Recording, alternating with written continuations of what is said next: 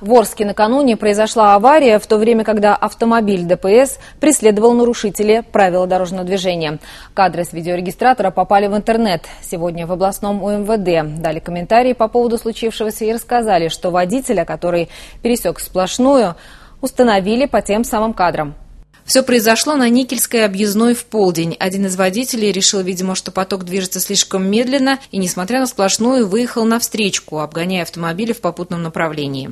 За нарушителем, включив проблесковые маячки, направился экипаж ГИБДД. Водители во встречном направлении уступили дорогу, а вот мужчина на шестерке зазевался и слишком поздно среагировал на ситуацию. При экстренном торможении не справился с управлением и врезался в световую опору. Водитель автомобиля, попавшего в аварию, объяснил свое поведение сотрудникам ГИБДД тем, что неправильно рассчитал тормозной путь и неправильно рассчитал дистанцию.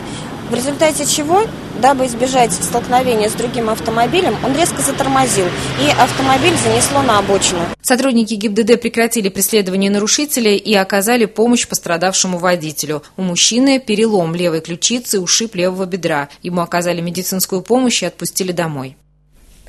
Нарушителю правил дорожного движения, а им оказался житель города Орска, 1987 года рождения, работающий мастером на одном из предприятий, грозит наказание. За выезд на полосу встречного движения предусмотрено лишение водительских прав на срок от 4 до 6 месяцев.